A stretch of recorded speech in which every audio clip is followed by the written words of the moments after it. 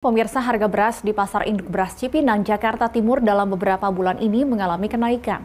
Namun menurut salah satu pedagang, sudah ada sedikit penurunan harga beras dari sebelumnya yang bisa mencapai Rp14.000 per kilogramnya berkat operasi pasar atau subsidi beras dari pemerintah melalui Badan Pusat Logistik. Untuk mengetahui harga beras terkini, berikut laporan jurnalis B Universe, Vinilia Huanggrio dan juru kamera Monik Handa di Pasar Induk Beras Cipinang. Ya pemirsa BTV, saat ini saya sudah berada di Pasar Induk Beras Cipinang, Jakarta Timur untuk memantau harga bahan pokok, terutama harga beras terkini. Sebelumnya kami sempat mewawancarai salah satu pedagang pada tanggal 9 Oktober 2023 yang mengatakan bahwa uh, memang harga beras uh, memecahkan rekor tertinggi selama lima tahun terakhir. Menindaklanjuti hal tersebut, sebetulnya Presiden Joko Widodo sudah berupaya untuk memperbanyak pasokan beras ke pasar-pasar domestik, salah satunya di Pasar Induk Beras Cipinang, Jakarta Timur ini, untuk mengendalikan harga beras. Lantas, apakah upaya tersebut uh, dapat um, berdampak signifikan terhadap harga beras terkini?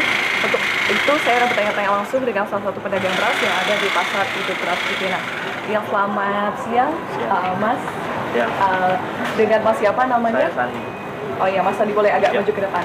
Ya, Mas Sandi, untuk harga beras saat ini apakah masih tinggi dan harganya berapa uh, per kilogramnya untuk uh, jenis premium dan medium? Untuk harga sih saat ini agak menurun. Uh, untuk medium itu sekitaran di 12.300, kalau yang premium di 13.500. Oke, untuk penurunan harga ini sendiri apa penyebabnya? Uh, salah satunya karena OP, OP dari pemerintah, operasi pasar. Oh, dari operasi pasar.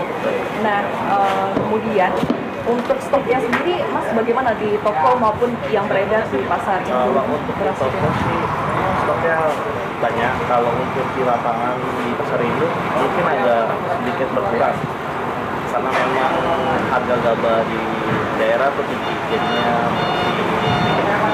untuk sampai akhir tahun apakah cukup di stoknya? Uh, dengan bantuan adanya FOP atau